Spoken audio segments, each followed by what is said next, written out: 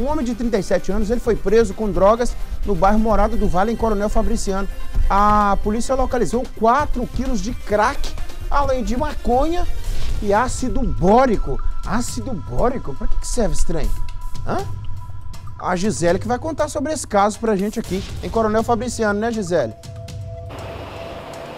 Isso mesmo, Nico. A polícia recebeu informações anônimas de que um homem estava fazendo uma movimentação estranha ali em uma casa que ele usava para guardar entorpecentes. Tinha um veículo, segundo as informações, ele entrava e saía com esse veículo. A polícia passou a observar essa movimentação estranha ali deste homem e abordou essa casa. Quando chegou nessa casa que ele guardava, a polícia encontrou ali é, sacolas contendo pó branco e também um cheiro forte de crack. Na casa foram encontradas encontradas quatro caixas de cocaína e uma carteira do suspeito estava dentro dessa casa que ele usava para guardar os entorpecentes.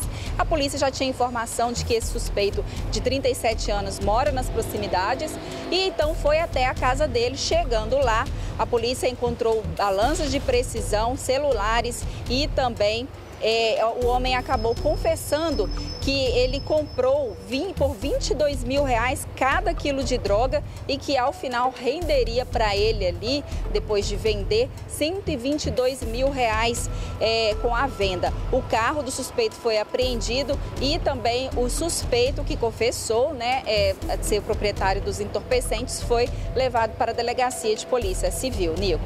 É muita coisa, hein, Gisele? É muita coisa que a gente viu ali ó, na imagem. Cruz, cara, esse trem de ácido bórico, esse treinado aí. Ah, a pessoa insiste em ficar nesse trem, negócio de traficância. Agora vai lá, gastar dinheiro com advogado e por aí vai, né? É. Obrigado, viu, Gisele, por sua informação